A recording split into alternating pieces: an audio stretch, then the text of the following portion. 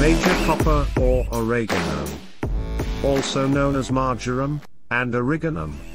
Growing in about 6 to 11 weeks, this plant genus of 10 main differing species variants of the bulk innumerable natural hybrids propagates by sending out runners of its own in gardens as well as with humans from stems and seeds. Some varieties of oregano can be edible, medicinal, and are great for pollinators at full maturity with flowering blooms. The common variety of oregano for consumption, Origanum vulgare, is not safe for all animals and pets due to incompatible hydrocarbon compounds, but its health benefits prove it to be a great resource in controlled amounts for dogs in certain applications.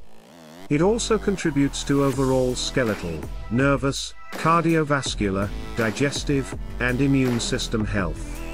It has well documented evidence of antimicrobial, antiviral, antifungal, anti-inflammatory, analgesic, anti-diabetic, anti-cancer, antioxidant, and lipid modulating properties.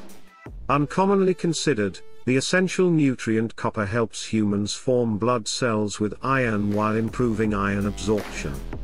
Oregano contains similar amounts of copper to potatoes and some culinary mushrooms, while also yielding abundant potassium, calcium, manganese, and iron, all vital minerals that have been detected within Gale crater, which is only one of a few locations on Mars with sediment analyzed by a rover.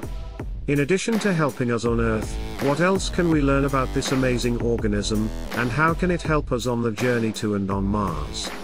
Be sure to like and subscribe to The Martian Ark for more content, and leave your thoughts in the comments below.